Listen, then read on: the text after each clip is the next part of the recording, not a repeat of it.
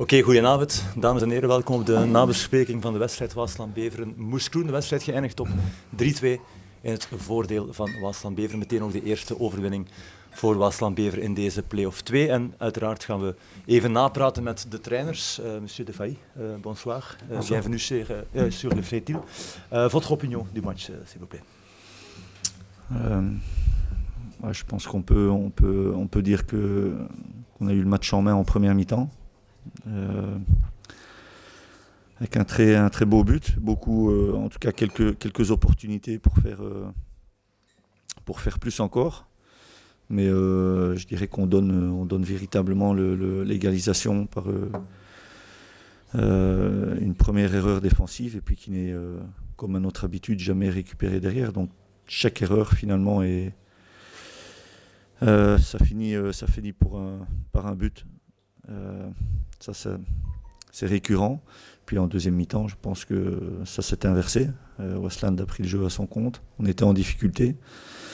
Euh, là, contre le cours du jeu, on fait, euh, on fait la différence. Ce qui aurait dû sans doute provoquer chez nous un sentiment positif. Et puis à partir de ce moment-là, il ne se passe plus rien.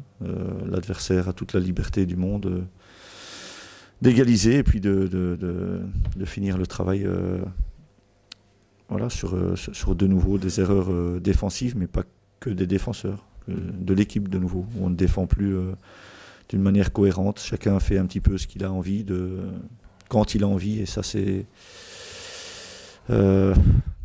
c'est beaucoup trop souvent chez nous. Vous trouvez que c'est une victoire méritée pour au, vu de la deuxième mi-temps, certainement, oui. Et puis, euh, si, si, si, tu n'as pas la, volonté de défendre ton beefsteak quand tu as, quand tu as une victoire en main, c'est très compliqué. Il faut euh, euh, une équipe qui, a, qui tient une victoire en main doit défendre, doit défendre ça.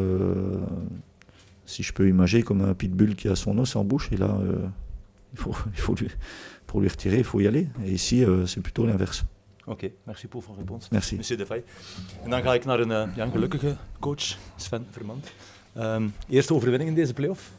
Wow, en een deugdoende overwinning, denk ik dan. Ja, absoluut. Ik denk, uh, als ik inderdaad naar uh, het wedstrijdverloop kijk, de eerste helft hadden we het uh, moeilijk. We zijn gestart eigenlijk in een 3-5-2.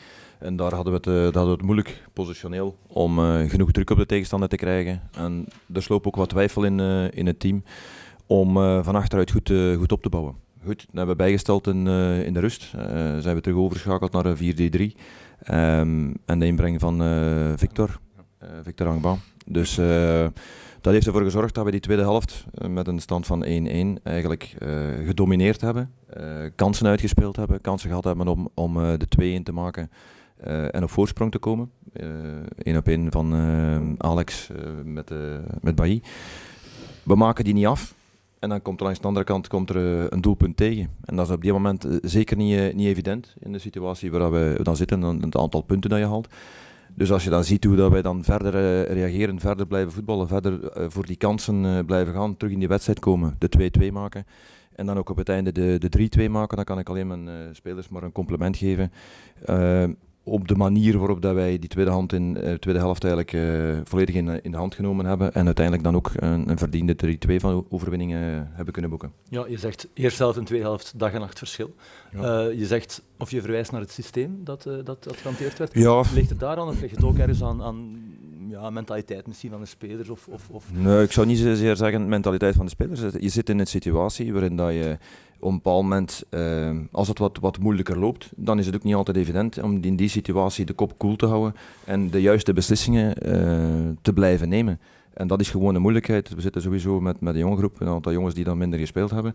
Dat maakt dat op een bepaald moment uh, dat dat niet evidente situaties zijn. En dan moet je de kop koel houden, dan moet je toch de juiste dingen blijven doen. En dat hadden we moeilijker in de eerste helft.